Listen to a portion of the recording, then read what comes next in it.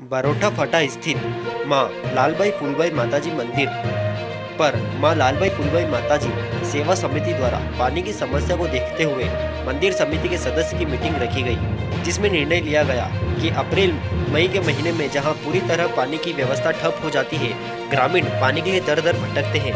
ऐसी समस्या को देख समिति द्वारा निर्णय लिया गया कि हम इस पानी के संकट को अपने प्रयासों से दूर करने की कोशिश करेंगे।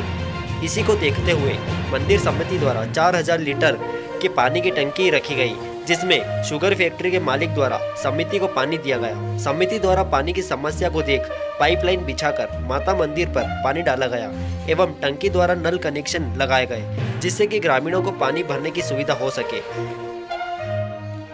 मंदिर समिति के अध्यक्ष डॉक्टर जगदीश जोशी प्रदीप रावल आत्माराम जाट अनिल गुप्ता गोवर्धन पंचायत सुशील मोदी ओम प्रकाश रेनीवाल हितेश कानूनगो आदि मंदिर समिति के सदस्य की मेहनत से ग्रामीणों को दिनांक 30 मई से प्रतिदिन दोपहर 12 से 5 बजे तक पानी की व्यवस्था किस प्रकार प्रकार से पानी की व्यवस्था की गई? है यहाँ पे हमने माँ लाल बाई फुलबाई जन कल्याण सेवा समिति के माध्यम से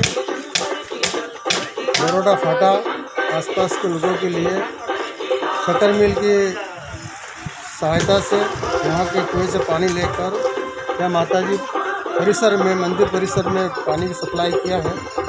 आम जनता के सुविधा के लिए और अधिक से अधिक लोगों को पानी मिले ये हमारी मंशा है समिति की। मंदिर समिति द्वारा की गई है? हाँ जन कल्याण सेवा समिति मंदिर के द्वारा की गई।